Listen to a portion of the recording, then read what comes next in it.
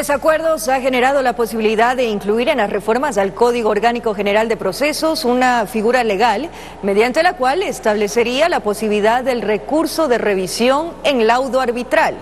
Pablo Fajardo, abogado de los afectados por la explotación petrolera de Chevron en la Amazonía ecuatoriana, denuncia que se pretendería beneficiar a la petrolera internacional. El tratamiento de reformas en el Código Orgánico General de Procesos que se tramita en Asamblea Nacional es lo que preocupa a Pablo Fajardo, abogado de los afectados por la explotación petrolera en Amazonía ecuatoriana, a cargo de Chevron. Está incluyendo una figura jurídica que es el recurso de revisión. Ese recurso de revisión, como está planteado y que ha sido planteado por el asambleísta Luis Fernando Torres, ¿sí?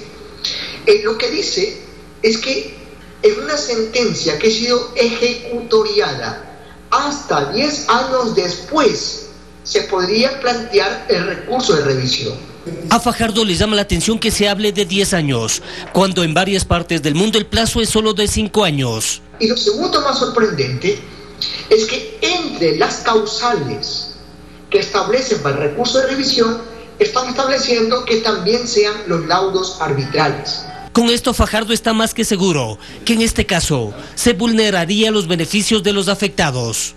Entonces está creando la figura jurídica para que en el caso Chevron, por ejemplo, Chevron pueda plantear el recurso de revisión y buscar la nulidad de la sentencia del caso Lago Agrio.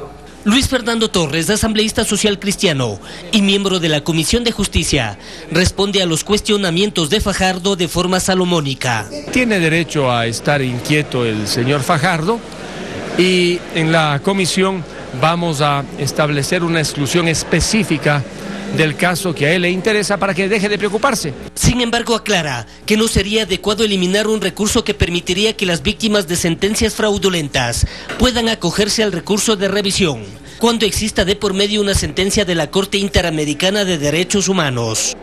Esta propuesta se la presentó hace algunos meses, antes inclusive de que se dicte el laudo arbitral. Sin embargo, para evitar todo tipo de suspicacia o de temor, estamos reformando el texto para que se excluya de manera clara aquellas sentencias que han sido tratadas por la Corte Constitucional, como ocurrió precisamente con la sentencia de sucumbíos que llegó finalmente a la Corte Constitucional. Informó Héctor Romero.